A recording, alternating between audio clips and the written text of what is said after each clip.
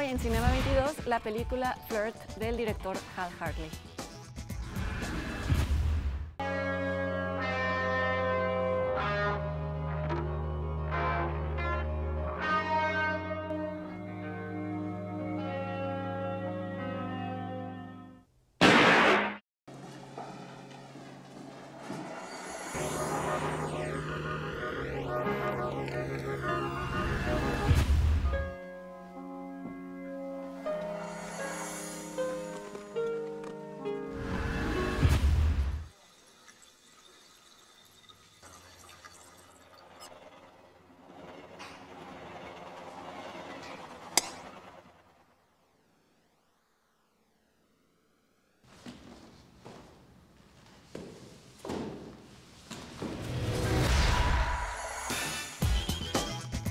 Muy buenas noches, qué bueno que me acompañan hoy en particular, que les voy a presentar una película de un director que disfruto mucho y que consideramos muchísimos un pionero del cine independiente norteamericano. Ahora se dice independiente a casi todo el cine, desde que Tarantino hizo que el cine independiente fuera millonario, ya todo es cine independiente, pero hubo un momento que fue en los años 90, fines de los años 80, principios de los 90, en que realmente un director tenía que pasárselas negras para poder levantar una película y sobre todo para poder imponer un estilo que fuera distinto al del cine comercial. Hart Hartley lo hizo, estableció una filmografía que hasta la fecha sigue siendo distintiva, yo creo que no se parece a ninguna otra,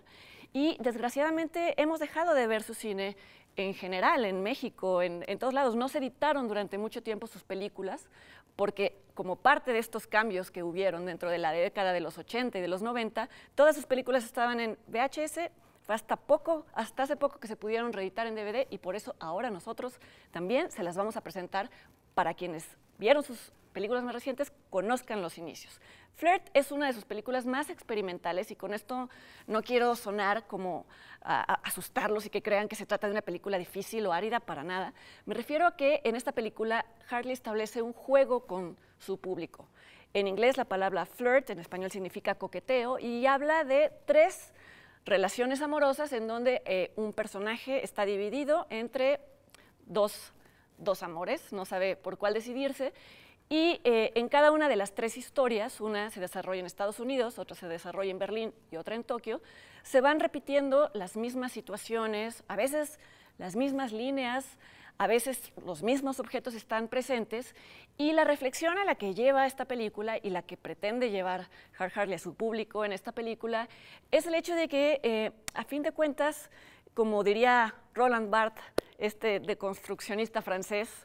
todos los discursos y sobre todo el discurso amoroso están hechos de frases hechas, de situaciones que se repiten y simplemente cada uno de nosotros, aunque no nos hayamos enterado jamás de cómo se vivió esa historia de amor en otro lugar, sin querer la repetimos. Entonces, bueno, viéndolo en la película es muy interesante y sobre todo muy placentero. No se trata de descubrir otra vez qué va a suceder, ya sabemos cómo se van a desarrollar con pequeñas variantes las tramas, sino de notar cómo puede una misma palabra tener significados totalmente distintos simplemente si se cambia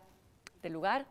o de momento. Creo que es un, creo que es un ejercicio muy disfrutable. Podemos ver una vez más a Martin Donovan, que es uno de los actores fetiches de director Hart Hartley, a Parker Posey, una actriz que se ha dedicado sobre todo a hacer películas muy divertidas también de culto, no tanto de cine comercial. Y aparece también Miho Nikaido, que es una actriz que aunque no es muy conocida, pues tiene su parte de trivia interesante en el sentido de que aparece en el fragmento de la historia amorosa que se desarrolla en Tokio y después de la grabación de la película se convierte en la esposa de Hart Hartley. Entonces, bueno, ya tienen ahí un panorama muy completo y más completo todavía por el hecho de que después de la película, no se vayan, les vamos a presentar dos cortometrajes que son casi los primeros trabajos